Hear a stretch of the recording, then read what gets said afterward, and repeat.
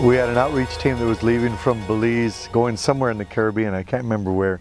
And you know, these these guys have been fasting and praying, and they're preparing and launching forth. Some of them had never been out of Belize before, so here they are on the way to the airport, and this van, it was like a real by faith kind of van, you know, and the van broke down. It, they popped a belt, and so there they are sitting on the side of the road and just saying, God, like, you know, how how can this happen?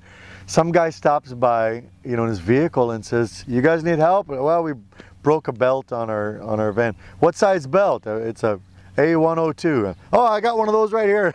Threw it to him and took off. And so they put the belt on, kept on going. They're just saying, "Wow, praise God! God's so amazing."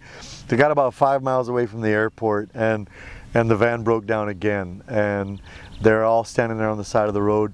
Somebody else in another van stops and says, "Hey." Where are you guys going? Well, we're trying to get to the airport. I'm going there right now. Climb in. So they grabbed all their bags, jumped in the van, got to the airport, and they said, "We're sorry, the plane left already."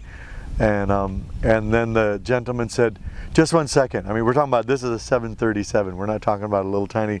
It is a big commercial jet."